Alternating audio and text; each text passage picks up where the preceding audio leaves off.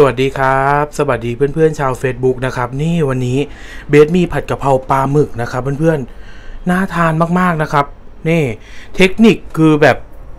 มันก็จะพูดว่ายังไงอะมันก็ไม่ได้ยากนะครับ แล้วมันก็ไม่ได้ง่ายนะ ผัดกะเพราเนี่ยที่เบสใส่วันนี้ก็คือ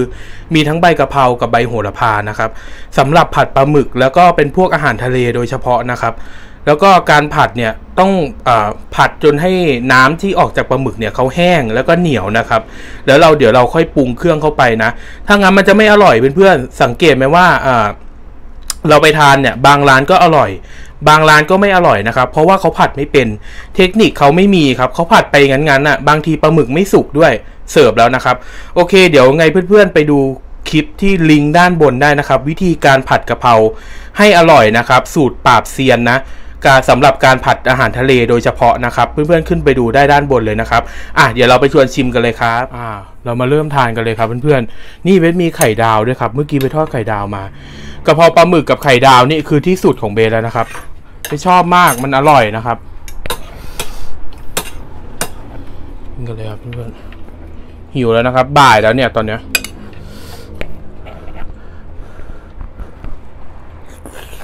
อืมอืม หอมใบโหระพา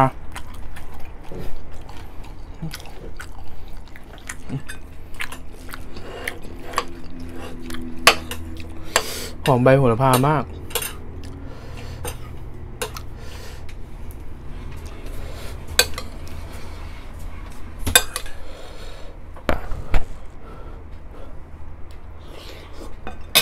อืม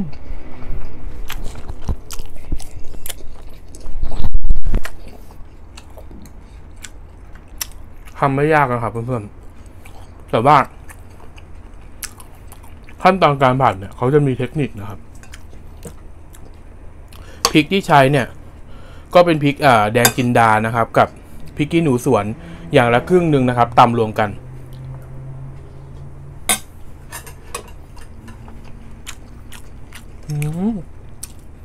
กับไข่ยาว อร่อยมาก เวลาตอนสมัยเด็ก ๆนะครับอ่าเขาจะมีเวลาวิชาแนแนวอะไรอย่างเงี้ยใช่ไหมเขาจะให้กรอกนะครับว่า สีที่ชอบ อาหารที่ชอบ รสที่ชอบ อะไรอย่างเงี้ย รู้ไหมเบสเขียนอาหารที่เบสชอบคืออะไรกะเพราครับ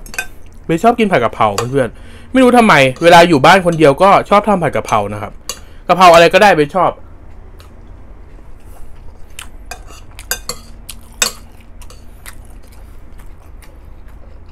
กับไข่ดาวครับ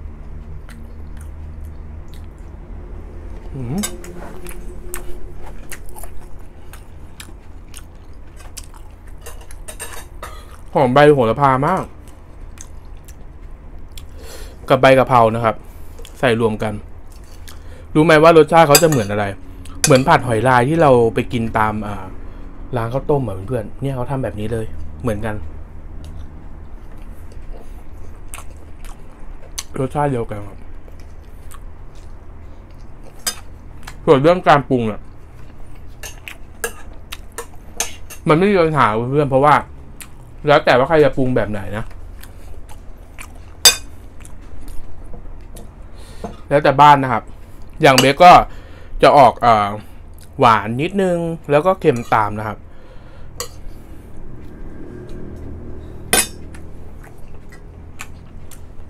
ไม่ต้องใส่ผงชูรสอะไรมีซอสหอยซีอิ๊วขาวซอสภูเขาทองนะครับ น้ำตาล อืมแค่นั้นแหละ น้ำปลาใช่แค่นี้ครับ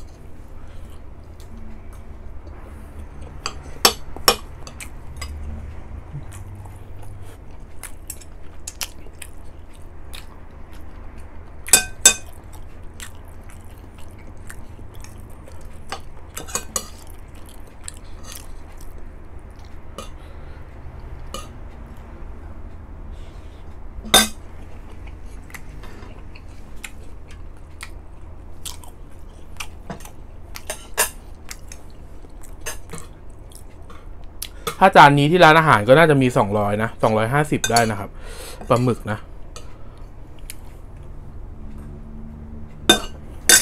อืมไม่ใช้ประมาณเจ็ดตัว น่าจะเจ็ดตัวครับหมึกกล้วย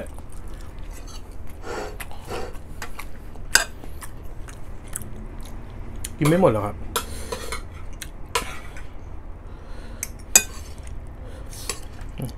หนวดปลาหมึกเลยใครชอบหลาย ๆ คนชอบนะครับ อ้ำ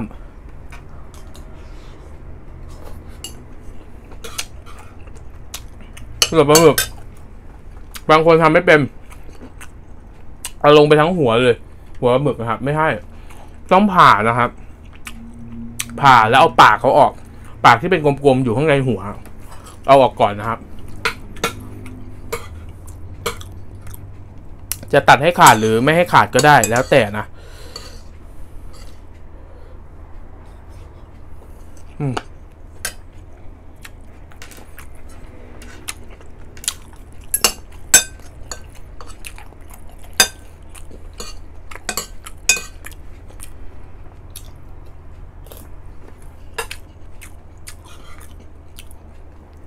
มันต้องคู่กับไข่ดาวจริงๆนะกะเพราปลาหมึกพูดเลย อืมอร่อย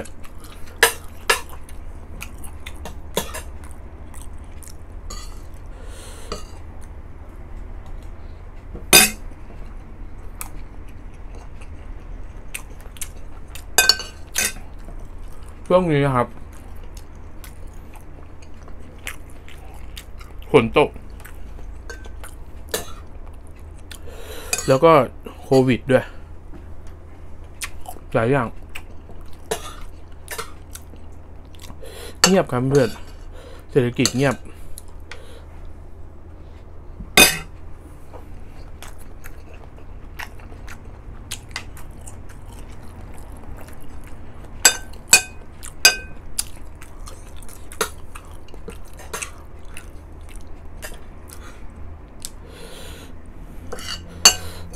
อืมอร่อย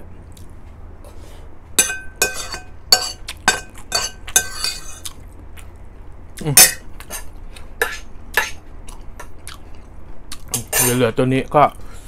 ใครอยากกินก็ เดี๋ยวค่อยกินรอบต่อไปนะครับ โอเค วันนี้นะครับเพื่อนๆเบนมาทำผัดกะเพราปลาหมึกให้ดูนะ เพราะว่ามันก็จะบอกว่าง่ายก็ไม่เชิงจะบอกว่ายากก็ไม่แน่ใจนะครับ เพราะว่า เบสเชื่อว่าหลาย ๆ คนนะครับทำผัดกะเพราเนี่ยกะเพราหมูกะเพราไก่มันมันก็โอเคอยู่แล้วแหละ แต่ว่าบางทีอาหารทะเลไม่กล้าทำบางคนนะครับ ไม่กล้าที่จะทำอาหารทะเลไม่กล้าแตะเลย เพราะว่ากลัวทำไม่เป็นบ้างเดี๋ยวสุกเกินไปบ้างอย่างเงี้ยอย่างเงี้ยครับ ถ้าสุกเกินไปเนื้อเขาก็จะแข็งนะครับ ก็ไม่อร่อยอีก มันต้องฉ่ำๆน้ำนิดนึง แล้วก็สุกแบบพอดีพอดีนะครับ เราต้องดูเป็นนะว่าการผัดเนี่ย น้ำแห้งประมาณนี้ เราต้องเติมเครื่องลงไปเลยอะไรประมาณเนี้ยครับ เพราะบางทีบางคนที่ร้านตามสั่ง บางทีปลาหมึกข้างในยังไม่สุกเลยเพื่อนเสิร์ฟแล้ว แต่ว่าเขาก็เน้นความเร็วอะเนาะแต่ว่ามันก็ไม่อร่อยถึงขนาดนั้นนะครับ แต่วันนี้ที่เบนมาสอนเนี่ยก็คือแบบคล้ายๆสูตรโบราณนะครับ เพราะว่าตัวปลาหมึกเองเนี่ยเขาก็หนึ่งเลยคือต้องใช้ปลาหมึกสดนะครับ แล้วก็ไม่ใช่ปลาหมึกอ่าไม่ใช่ปลาหมึกแช่แข็งนะปลาหมึกที่เป็นเขาบ้างมาแล้วนะ่ะ ไม่ใช่อย่างนั้นนะมันอย่างนั้นมันไม่อร่อยเพื่อนเอามาผัดยังไงก็ไม่อร่อยเบเคยแล้ว ซื้อมาจะเอามาผัดจะกะเพราเงี้ยผัดยังไงก็ไม่อร่อยเขาจะมีกลิ่นเหมือนแบบกลิ่นที่เขาแช่อะไรสักอย่างนะครับ ให้ให้ตัวเขาฟูเขาเด้งอะไรประมาณเนี้ยไม่แน่ใจเหมือนกันนะแต่ผัดยังไงก็ไม่อร่อย ก็เบสชอบเอาปลาหมึกแบบเนี้ยมาผัดครับมันอร่อยดีมันหอมนะครับกลิ่นตัวปลาหมึกเนี่ยเขาจะมีกลิ่นเฉพาะ พอเวลาตอนที่เราผัดให้น้ำเขาแห้งทีแรกน้ำเขาออกมาเยอะใช่ไหมเราผัดให้น้ำเขาแห้งเนี่ยเขาจะมีน้ำโปรตีนอะพอน้ำเขาระเหยออกหมดเขาจะมีน้ำโปรตีนเหลืออยู่เนี่ย ตัวนี้น้ำอร่อยเขานะครับ แล้วก็ผัดต่ออีกนิดนึงใส่เครื่องได้เลยเพื่อนๆกินทุกๆคำเนี่ย จะได้กลิ่นของปลาหมึกเลยนะครับ เพราะว่าน้ำน้ำตัวนั้นอะน้ำโปรตีนที่ออกมาจากปลาหมึกเนี่ยมันอยู่ในเนี้ยครับอยู่ในน้ำเขาเนี่ย โอเค เดี๋ยวไว้เจอกันเท่านี้นะครับ เพื่อนๆเดี๋ยวไม่มีอะไรดีๆก็ เดี๋ยวจะมาบอกเพื่อนๆอย่างแน่นอนนะครับ ในช่องทั้ง YouTube แล้วก็